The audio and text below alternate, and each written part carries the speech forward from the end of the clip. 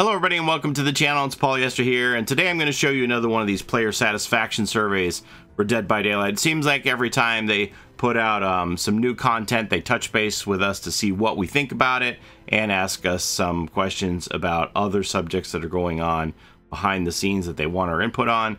So we're going to go through this. I'm not sure exactly how much of this I'm going to answer because I don't want to influence you, but I know I need to answer some of it to make sure that you see all of the questions.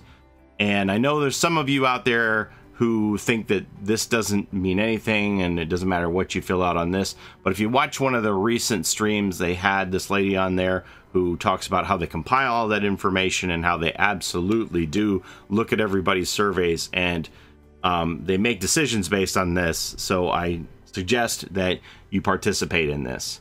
Um, it isn't meaningless by any means. So we're going to go through this. It's anonymous, takes 15 minutes to complete, and your responses help us continue to improve the game. Here we go. Overall, how satisfied are you with Dead by Daylight? Very satisfied to very dissatisfied. We have a range here. Question two, to what extent do you agree with the following? Dead by Daylight is fun. Dead by Daylight is worth the time I spend on it, and I feel that the game is fair. Question three, roles, experience, and platforms. Which role do you play most and prefer to play? Killer, Survivor, or both equally? Question four. Which platforms do you play Dead by Daylight on? PC, PS4, Xbox One, Switch, or mobile? Question five. If Dead by Daylight initiated cross progression, which additional platform are you most likely to play on? Cross progression, your game progress transfers between platforms. Well, that for me, that would be the Switch because I own that one. Okay, we'll fill couple of these here. Switch mobile. Boop, boop, boop. When did you start playing Dead by Daylight? Long time ago. Question six. Silent Hill. Have you played the latest Dead by Daylight chapter, Silent Hill? Um, yes, I played both roles. Which best describes when you first heard about the Silent Hill chapter? I think that I think it was May. Yeah, I'm pretty sure it was May. How did you hear about this chapter? From myself. Question 10. Overall, how satisfied are you with the latest chapter? Question 11. Did you play Dead by Daylight prior to acquiring this chapter? Yes, actively, yes, but in the past or no? So they just want to know if you're like new to Dead by Daylight or if uh, you were playing it all along or if you had played it, but you put it down until this chapter came out. Question 12. How passionate are you about the Silent Hill franchise? Not at all, too extremely. Question 13. How much did it frustrate you to have to wait between hearing about the chapter and it being released? So they had the teaser and then the public test build, and then if you were on console or if you didn't participate in the public test build, you had to wait three weeks for it to come out after um, the public test build on the fourth anniversary stream, right? Question 14. How would you rate the quality of the following features? The Midwich Elementary School appearance and the Midwich Elementary School gameplay. Very low quality to very high quality. Next. Okay, so this is Silent Hill Survivor Cheryl. Her perk description Soul Guard, Blood Pact, or Repressed, Repressed Alliance how fun is it to play with these following Survivor perks? Not at all. To moderately for Soul Guard, Blood Pact, and Repressed Alliance. I'll let you read through those when you take the survey yourself in case you need a refresher on what these perks actually do. Um, normally I would read through all that, but this this is a lengthy survey from what I'm told, so I'm just going to power through. What potential does each new Survivor perk have to work well with the other game perks synergistically. Soul Guard Blood Pact, Repressed Alliance. No chance for synergy, considerable chances for synergy. Question 17. How would you rate the quality of the following features? Cheryl Mason, character appearance. Very high quality to very low quality. Again, all these have ranges. And Cheryl Mason's lore. Question 18. How engaging do you find the general feeling and theme of Cheryl? Extremely engaging, not engaging at all, or somewhere in between. Next. Silent Hill Killer and Executioner perk descriptions. For Force Penance Trail of Torment, and Deathbound. How fun is it to play with the following killer perks? Force Penance, Trail of Torment, Deathbound, not at all, moderately, oh sorry, very somewhere in between. Question 20. What potential does each new killer perk have to work well with the other character perks synergistically? Considerable chances of synergy or no chance for synergy. Question 21. How would you rate the quality of the following features? Executioner's character appearance, and the power, and the lore. From very high quality to very low quality, somewhere in the middle. Question 22. How engaging do you find the general feeling and theme of the Executioner? Question 23. To what extent do you agree with the following? I am satisfied with repeatedly pushing the spacebar during the hook struggle phase as survivor. Hmm. I would prefer a different mechanic for the hook struggle phase than repeatedly pushing the spacebar. Interesting. When trapped in the executioner's cage, survivors must complete skill checks to avoid being taken by the entity. To what extent do you agree with following? I am satisfied with the skill check mechanic during the cage phase. I would prefer that the skill check mechanic replaced the spacebar mechanic during the hook struggle phase. So this is asking you if you want to switch out on hook struggle and have to perform skill checks rather than repeatedly pushing the spacebar. Hmm. Now I presume that if you missed one of those skill checks, it wouldn't be an instant death. Maybe it would just accelerate your blood bar, like how it does in the cage. If you missed one of those skill checks and it was lights out, I don't know how many people would want to agree to that, but anyway, we will see. Matchmaking. Question 25. How would you rate the experience with the matchmaking in the past three months? Matchmaking time has been very negative to very positive. The teammates that you've been matched with, for example, the rank and match skill level, same, same question. And the opponents that you're matched against for rank and match skill level, has that experience been positive, negative, or in between. To what degree would you be interested in using the following? An indicator of the wait time for a match when you enter the killer or survivor queue, or a blood point boost incentive to switch from my desired role to another with a wait a shorter wait time. I guess you could have both. So on mobile, what they do is they have like red light, green light, and they show you which queue is the most full. Like if killer is red, then you know that you're going to get a game much faster uh, when survivor is green. So that's an interesting thing they do on mobile to show you like a visual indicator of uh, presumed wait times.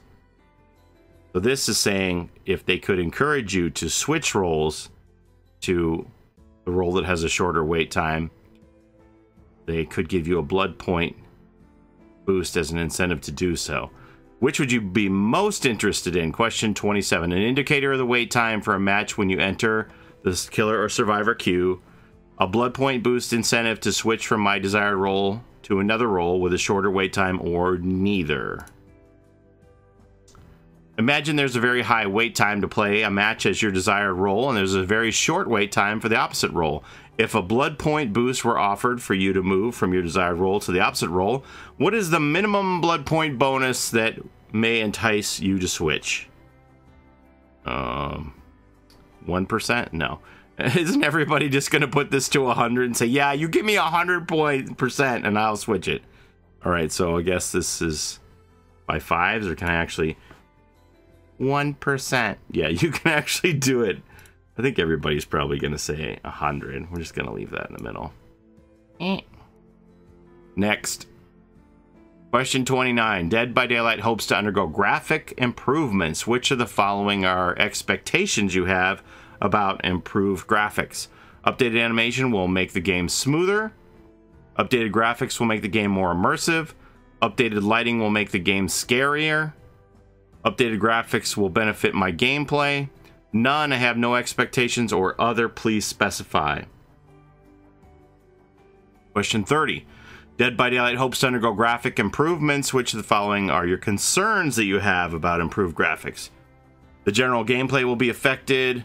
Performance on the platform I use may change. Performance on other platforms may change and affect the crossplay experience. Pretty, uh, telling that they're going full bore with this crossplay around the same time as the graphics, perhaps. My PC will not be able to run the game following a graphic update. Changes in lighting or, or quality will change how easy it is to hide. None, I have no concerns, and other, please specify. Question 31. From what medium other than TV and movies would you like to see new licensed chapters introduced? Video games, real life, manga anime, comics, or books? Video games. Springtrap petition when? I can't even allow people to talk about FNAF in my chat anymore because it's so divisive. It's crazy. It's it's just like a console war in there when the people talk about whether or not they want FNAF in Five Nights at Freddy's in Dead by Daylight. I know there's a lot of people who really are pushing for Springtrap right now, but uh, you know, wanting a thing doesn't mean you get a thing. But know, petitions are great though to let people know what you think. Real life, so this would be like Jack the Ripper. That's one that I have heard requested quite a bit. I'm not really familiar with any anime requests. Comics, I know a lot of people want to see the Joker come in as a killer. Don't know if that would ever happen. And books. Question 32 What is one license that you would most like to see? So this doesn't say uh, from other than TV or movies, so you can put in whatever you want here. It isn't limited to non-television or movies. If you have a TV or movie property, put it in there. Or, you know, if you have something you want to see from one of these categories, by all means, enter that in the box as well. Question 33. To what extent do you agree with the following? Playing on the same map several times during a session gets boring. Playing different maps in the same realm several times during a play session gets boring, like if you're playing a bunch of MacMillans, I guess, is what they mean. Or a bunch of uh, farm maps in one session. I prefer it when a new map is in an entirely new realm than the rest. I dislike it when a new map is already is in an already established realm. So that would mean like the Plague's Temple of Purgation is a Red Forest map type, or the Clown's map, Father Campbell's Chapel is, um, you know, an asylum um, nurses type map, piggybacking. So they want to know if you want it to be an entirely new place, or Sanctum of Wrath is also a Yamaoka Estate variation, right? They want to know if you want an entirely new realm, or if it bothers you if they piggyback off of an existing realm. Uh, Um, question 34. How many killers do you own? And then the drop down there to 10 plus. How many different killers do you play with on a regular basis? To what extent do you agree with the following? When a new chapter is released, I find it exciting to learn to play a new killer. When a new chapter is released, I find it tiresome to learn to play a new killer. And I feel there are too many killers to learn in Dead by Daylight. Strongly disagree, strongly agree, somewhere in the middle. Question 37. To what extent do you agree with the following? The main reason I get new chapters is for the perks. The main reason I get new chapters is for the killer. The main reason I get new chapters is to support the game. The main reason I get a new chapter is for the theme and fantasy of it. I enjoy how often the new map is summoned after a new chapter release. Well, not me. Like, I thought we were going to have Midwich Elementary coming out like crazy when the new uh, chapter started, but it didn't appear enough for my liking. I don't know how you all felt about that when it started out. When it started, when, when you get a new chapter, I want to learn the new map. I want to go to the new map a lot. After a new release, I find it hard to switch my main character due to my rank. After new release, I find it hard to switch my main character due to not having the perks I want. Uh, collection trailer. Silent Hill collection trailer. Have you seen this video? Yes, no, or don't remember? Have you purchased any Silent Hill cosmetic items? Oh, hang on a second. Have you seen this video? Yes. Aha. okay. See, some of these I have to answer. I miss questions. To what extent do you agree with the following? I enjoyed watching this video. This video was informative. I learned about new Silent Hill cosmetics from this video. This video is visually appealing. This video was too short. Have you purchased any Silent Hill cosmetic items? Yes. How did you first learn about Silent Hill cosmetic items? Content creators. Uh, reporting feature. Have you ever used the player reporting feature at the end of a match? Yes. To what extent do you agree with the following? I am satisfied with the functionality of the reporting feature. I am satisfied with the outcome of using the reporting feature. I feel that it makes an impact when I report misbehavior. Being able to report misbehavior brings value to the game. As it is, I would continue to use the reporting feature. It's funny that this is on here because I actually had a conversation with people today that they don't feel like the reporting feature does anything. They don't feel like people are being banned. I know that that is a feeling that's out there. I've had many people express that to me over uh, the years. So I, um, I understand there's a privacy policy and they can't tell you that they've banned somebody or, you know, meted out punishment necessarily for these things. But um, I, I think the overall opinion is that it doesn't do anything, which I'm not saying that's the case. I just think that that is the general impression. So I think there are many people who don't even bother to use it because they don't think it does anything. Question 44, the archives. Have you ever made progress in the archives? Yes, one, two, three. Have you ever purchased a Rift Pass? Yes, one, two, three.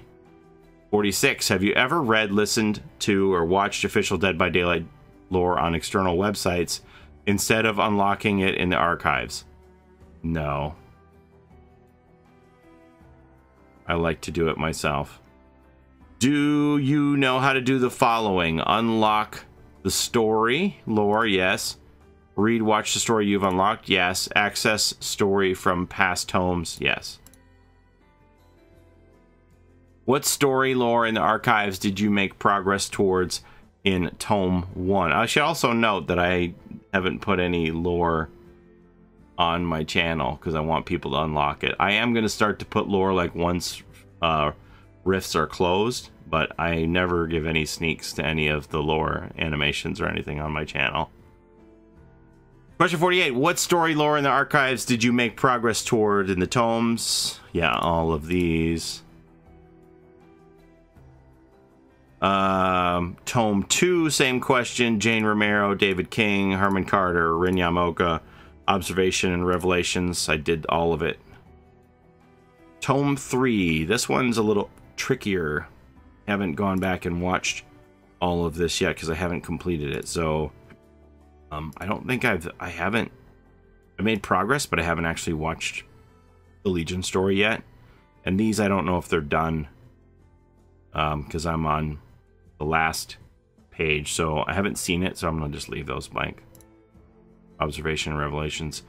To what extent do you agree with the following? I enjoy reading and watching Dead by Daylight story lore in general. I enjoy the overall fantasy of Dead by Daylight.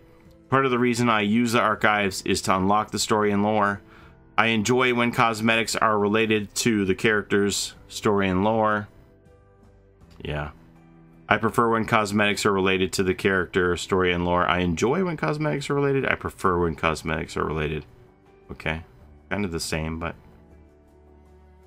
to what extent do you agree with the following? I enjoy the narrated voiceovers that come with the written story lore. Yeah, I think that has to remain. You can always turn it off if you don't want to hear the voice. The voiceovers are narrated at a good speed. I'm satisfied with the level of emotion and feeling in the narrated voiceovers.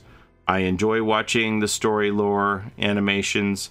The animations bring value to Dead by Daylight stories. Are we trying to like is the is the narrator's job on the line here? What is going on?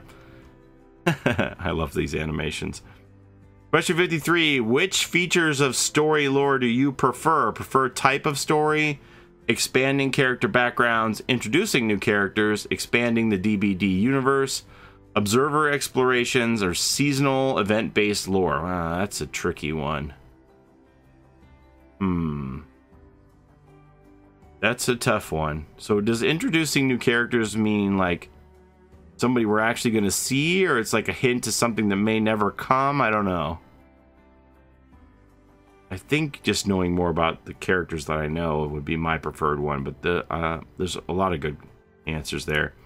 Preferred genre of story lore. Cheerful, happy, sad and dark, or angry and vengeful.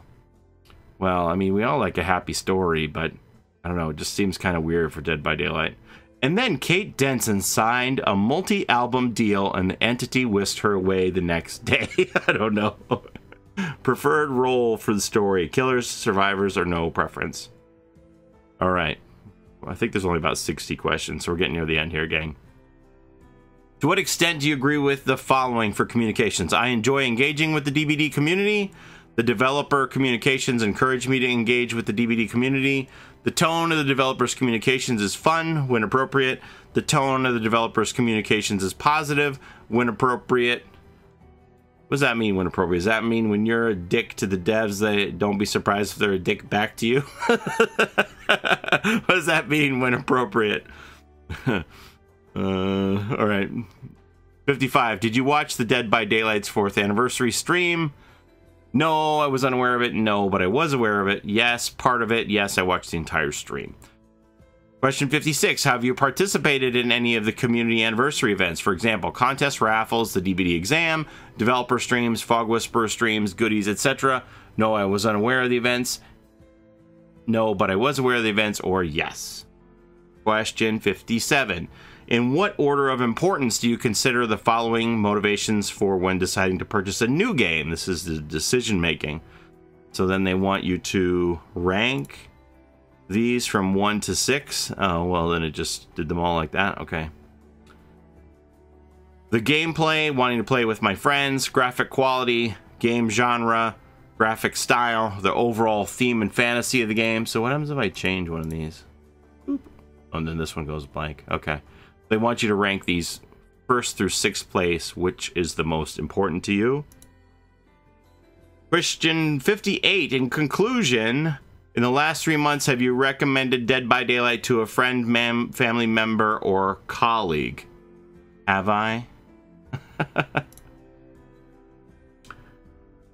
what is your gender? Male, female, non binary, prefer not to answer. In what country do you currently reside? Oh, Canada. In what year were you born? How far back does this go?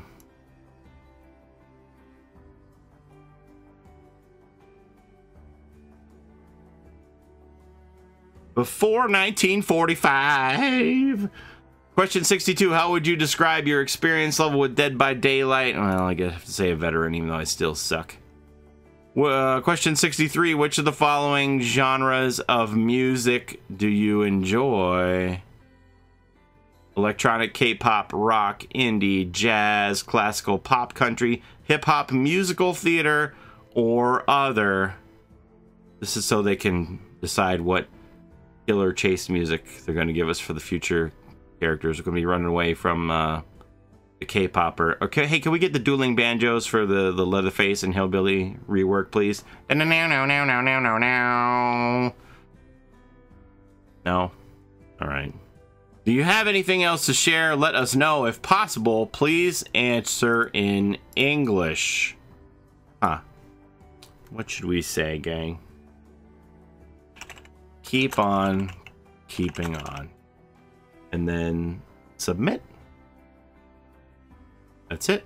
Thank you for taking the survey. We are done. So that's it. We are done. I will have the link to the survey in the description and the pinned top comment in the video for you to take it yourself. I strongly encourage you to fill it out with your own answers and uh, let the devs know what you think about what's going on with the game. All right. Thanks for watching, everybody. Have a great day, and we'll see you next time. Bye bye.